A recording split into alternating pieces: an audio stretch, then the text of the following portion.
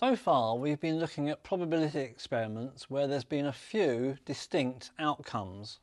Rolling a dice, you either get a 1, 2, 3, 4, 5 or 6. Tossing two coins, you either get 0, 1 or 2 heads. But there are some experiments where the number of outcomes is infinite and they're indistingu uh, almost indistinguishable from each other. For example, what's the probability that someone is exactly 1.7 metres tall to the million decimal places, 1.70000. There are so many different heights, if you measure accurately enough, that we can't really distinguish each one and give it a probability.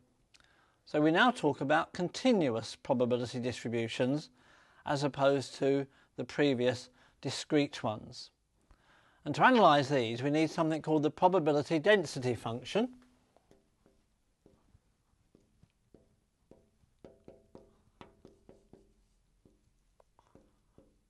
Which we'll call little f,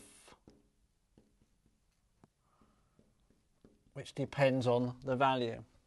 And we can look at a graph of little f. There are all sorts of different uh, examples. Here's one possibility. Here's x, here's f of x. And we work out probabilities now by saying that the probability of getting, say, x between A and B is given by the area between those lines and under the graph. So this area is the probability that A is less than X is less than B. In other words, that X is in between A and B. And of course, a common way of working out areas in mathematics is to use integration. So this would be the integral from a to b of f of x dx. That's how we do probabilities because we can't talk about the probability of a single value of x because there are an infinite number of possible values. So we have to just look at, at uh, regions between a and b. Let's look at an example.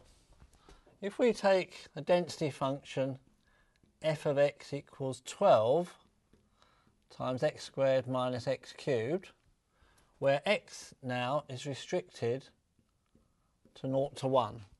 This has a graph looking a bit like this. So we need to check that the area underneath the graph, the total area, is 1 because just like the total of all the probabilities added up to 1 before, we had to have sigma p equals 1.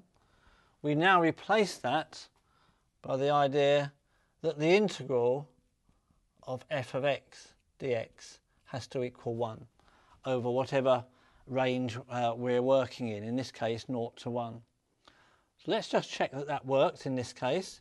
If I integrate 12 x squared minus x cubed dx from 0 to 1. It's an easy integral because we've got simple powers.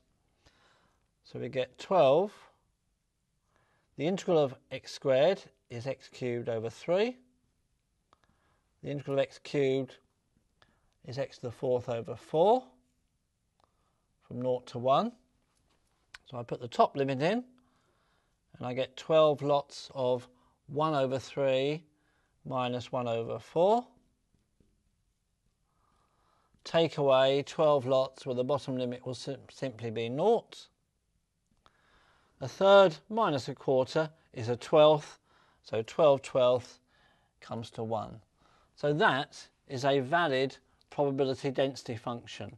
It has the right area underneath, the total probability underneath is 1. And that of course is why I put the 12 there. If I put some other number it wouldn't have been a total integral of 1. So now we have a density function and from this we can work out probabilities say of being between a quarter and a half by doing the integral from a quarter to a half of this function. We can then go on, as we'll see later, to use the density function to find the mean and the variance of these distributions.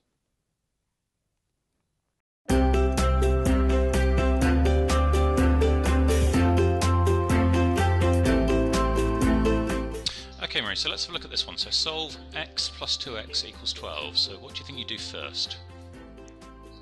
Okay, well, I want x on its own, so I would put x equals 12 minus 2x. Okay, so a lot of the time we want to get x by itself, but what we want to do first is get all of these x's together. So can you see anything we can do with this? Get all these together in one place. Oh, okay, it's 3x, isn't it? Yeah, so absolutely. 3x equals 12. Oh, and so x equals 4.